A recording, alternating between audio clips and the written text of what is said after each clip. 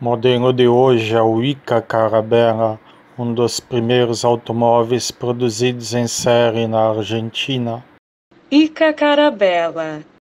Tudo começou quando a Ica, ou Indústrias Kaiser Argentina, foi criada através de uma parceria entre o governo argentino e as indústrias de veículos Kaiser dos Estados Unidos, fundando uma fábrica em Córdoba, Argentina, em 1956.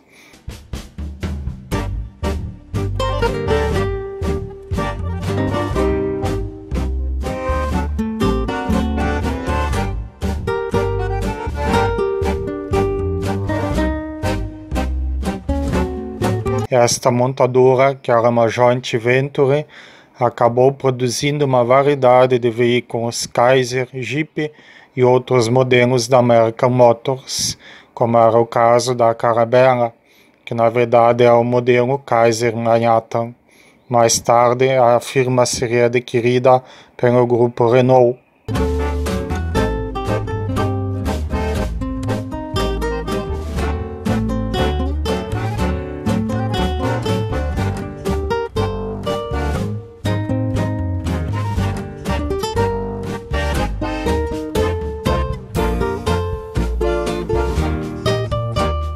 Modelo foi chamado de Carabella, que em espanhol significa caravela.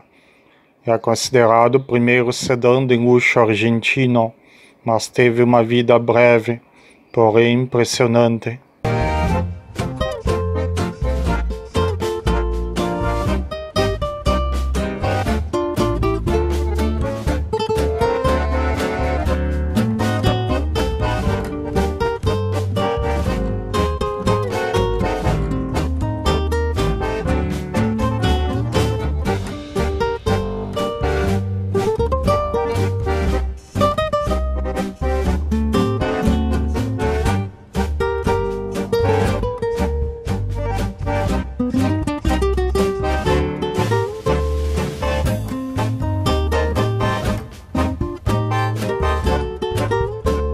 Apesar de ser um veículo de alto padrão, o Carabella também tinha seus defeitos.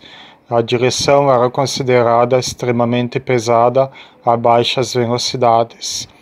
O freio à mão era um pouco difícil de controlar. A área de limpeza do limpador não era muito boa. O porta-luvas era considerado pequeno.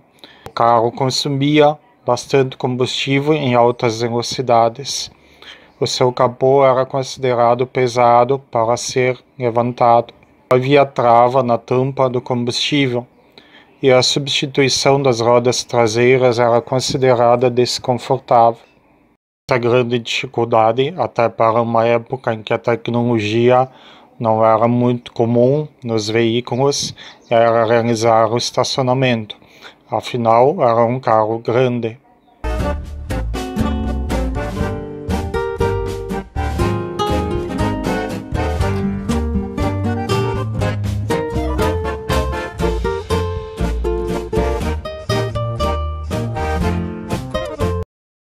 Carro para se dirigir com conforto, mesmo em viagens longas.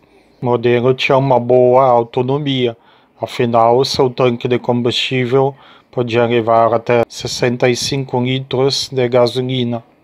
O motor do Carabella era o conhecido Continental, prefixo 6L226, fabricado na Argentina.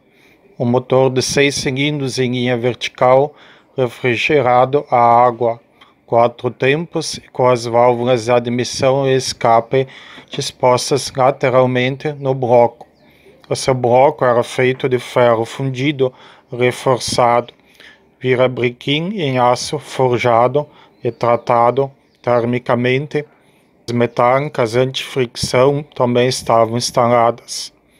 Este motor já era bem conhecido dos argentinos, pois ele equipava a picape Stanciera, outro modelo produzido pela ICA juntamente com a Willys.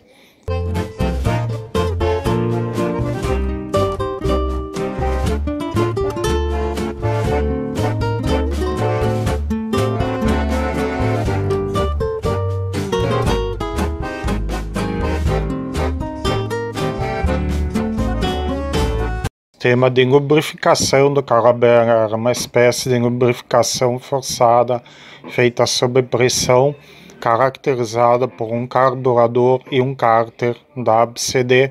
Caixa de câmbio era padronizada em três para frente e uma para trás, com a segunda e terceira sincronizadas.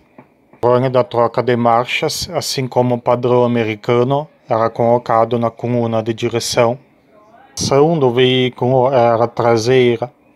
O motor do carro produzia um torque de aproximadamente 25 mkg, porém o desempenho não era muito satisfatório, visto que era um carro grande rendendo de potência apenas 116 cavalos.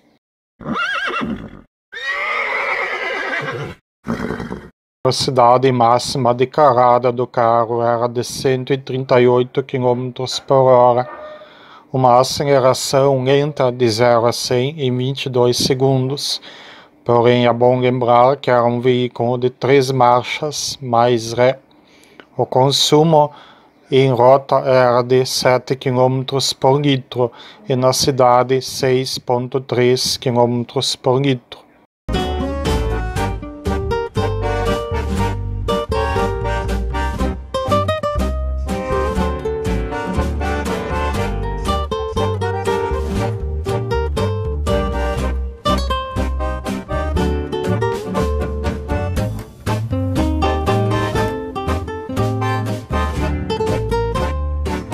No total foram produzidos mais de 10 mil automóveis Carabela, sendo aproximadamente 57 versões de táxi. Apesar do alto consumo para um modelo táxi, o veículo tinha um bom espaço, principalmente para bagagens, e era extremamente confortável. Os modelos da Kaiser ofereciam muitos recursos para a época e muitas vezes eram superiores a de marcas concorrentes, mas as pessoas infelizmente tinham um estigma em relação à marca e muitas não reconheciam as qualidades desses modelos, optando por marcas mais famosas e fortes como a GM, Ford e Chrysler.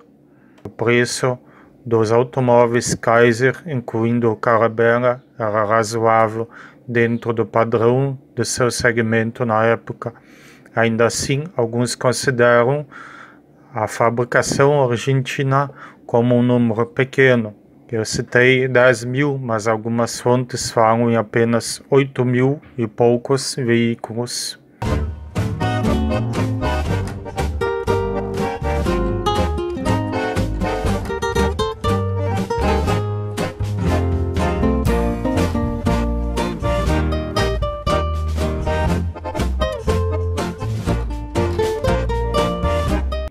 Citam a popularização dos carros compactos e práticos que consumiam menos combustível como um dos fatores do declínio do modelo.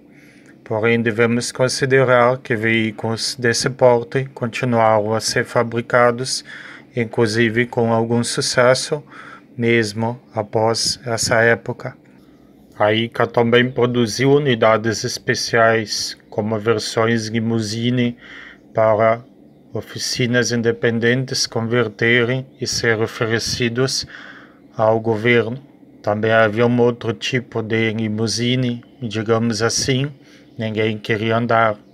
Eram os carabelas transformados em carros funerários com chassis bastante alongados. Seus norte-americanos estavam acostumados às grandes dimensões. Para os argentinos, até aproximadamente 2003, o Carabel era o carro mais longo, mais largo e com a maior distância entre eixos, além de ser o mais pesado já feito no país, segundo o livro Aventura Ica de Franco Cipolla.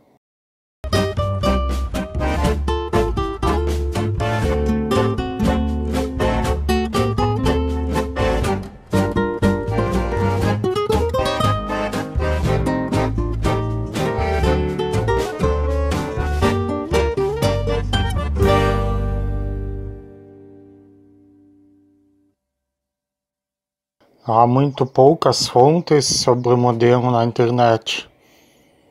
A maioria delas fala sobre a história da Ica em geral.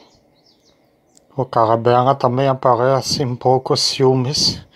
Os livros e publicações também são raros, se limitando a umas poucas unidades e também revistas especializadas em carros clássicos. Ainda assim, os fãs mantêm encontros, guardam peças, relíquias, objetos das mais variadas formas para lembrar desse grande automóvel argentino.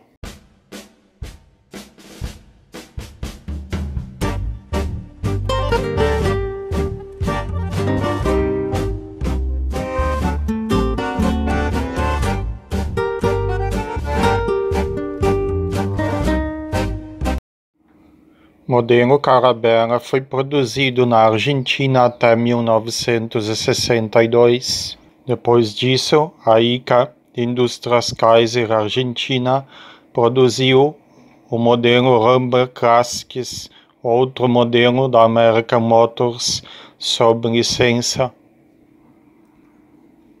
No ano de 1970, a Kaiser se retiraria do setor automotivo vendendo seus bens para a Renault. A partir daí, a Renault assume uma parceria com a ICA. Em 1975, a própria Renault assumia a ICA e mudava a razão social da empresa para a Renault Argentina, Sociedade Anônima.